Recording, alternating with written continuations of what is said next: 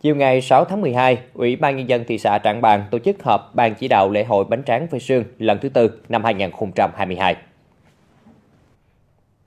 Đến thời điểm này, Ủy ban Nhân dân thị xã Trảng Bàng cơ bản hoàn thành công tác chuẩn bị cho lễ hội bánh tráng phơi sương lần thứ tư năm 2022. Phát biểu tại cuộc họp, ông Hà Minh Giảo, Phó Chủ tịch Ủy ban Nhân dân thị xã, trưởng ban chỉ đạo lễ hội yêu cầu các thành viên ban chỉ đạo cũng như các tiểu ban nỗ lực hoàn thành các phần việc còn lại theo đúng kế hoạch đề ra.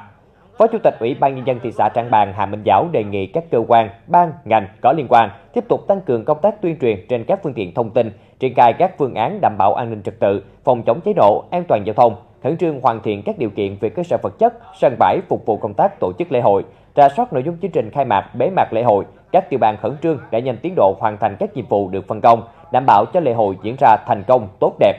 Lễ hội văn hóa du lịch nghề làm bánh tráng phơi sương Trảng Bàng lần thứ tư năm 2022 sẽ khai mạc vào lúc 18 giờ ngày 10 tháng 12 năm 2022 tại sân vận động thị xã Trảng Bàng.